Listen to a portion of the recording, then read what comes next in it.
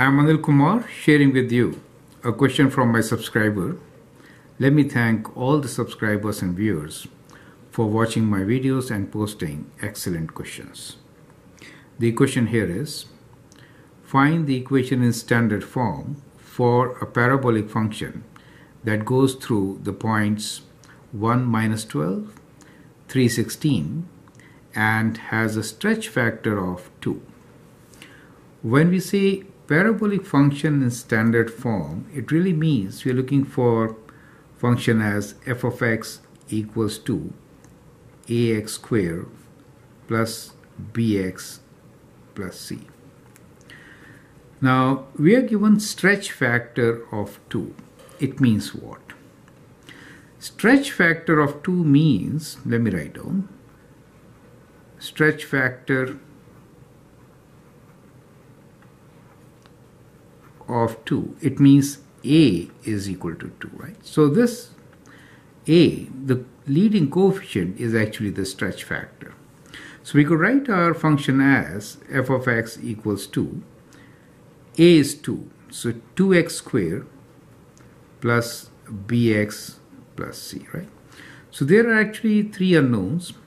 So from the stretch factor, we know the value of A. From these two points, we can get two equations and solve for B and C, right? So now let's use the point given to us, 1 minus 12. It really means that if I replace the value of x with 1, I should get minus 12, right? So replacing with 1, we get 2 times 1 square plus b times 1 plus c should be equal to minus 12, right? So that is f of 1 or the value of y for x equals to 1. You can simplify this a bit. So you get, uh, let's rewrite. So we say b plus c equals 2 or let me do it in two steps. We can write 2 plus b plus c minus 12 on this side, okay. Bringing it on the left, we get minus 14 equals to b plus c, right? So I hope that step is clear. So we'll call this as our equation number one. Second equation we can get with the second point, which is 316.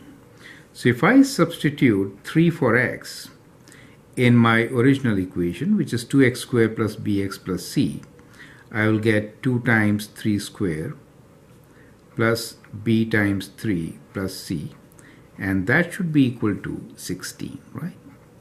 So that gives us 3 square is 9 so 9 times 2 is 18 plus 3b plus c equals to 16 or I could write this as 16 Taking 18 to this side, right, 16 minus 18, let me write like this, equals to 3b plus c. So that becomes equation. 16 minus 18 is minus 2, right? So we get the second equation as, let me call this as equation 2, as 3b plus c is minus 2. So let's rewrite these equations. We have b plus c equals to minus 14 and 3b plus c equals to minus 2. So I'm calling these equation as equation 1 and 2, right? Now what happens if I take away one from the other? That is to say, if I do equation 1 minus equation 2, what will I get? So b minus 3b is minus 2b, c minus c is 0, and here I get minus 12 right? Minus 14 minus minus 2 or b is equals to minus 12 over minus 2 which is 6 so we get the value of b as 6 you can now find c by substituting b as 6 in your equation number 1 right? So since we know b plus c is minus 14 I could write this as 6 plus c equals to minus 14 or c is equal to minus 14 minus 6 which is minus 20 perfect.